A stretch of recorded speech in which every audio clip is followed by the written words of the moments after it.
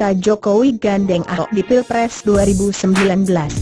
Pengamat politik dari Universitas Paramadina Hendri Satrio menyatakan, Jokowi tidak mungkin berpasangan dengan Basuki Cahjapurnama alias Ahok dalam Pilpres 2019. Menurut saya kecil kemungkinannya Jokowi akan ambil Ahok jadi wapres, kata Hendri saat dikonfirmasi, Minggu, 4 Maret 2018.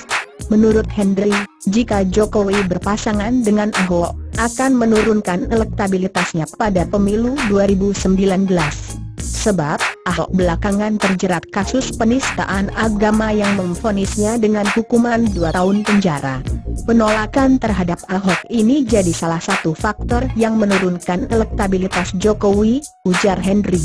Oleh karena itu, Henry menilai Jokowi dapat dengan tokoh muslim yang mungkin dapat menaikkan elektabilitasnya. Ya saat ini kan katanya Jokowi belum sepenuhnya mendapat suara dari kalangan muslim, jelas Henry. Nama Ahok santer diisukan sebagai pendamping Jokowi dalam Pilpres 2019 setelah mengajukan peninjauan kembali, PK, atas kasus penistaan agama ke Mahkamah Agung, MA. Pengacara Ahlok, Iwayan Sudiarta menampik jika pengajuan daya kuda yang dilakukan mantan wali kota Belitung Timur itu untuk bersanding dengan Jokowi di Pilpres 2019. Gak mungkin ya, singkatnya.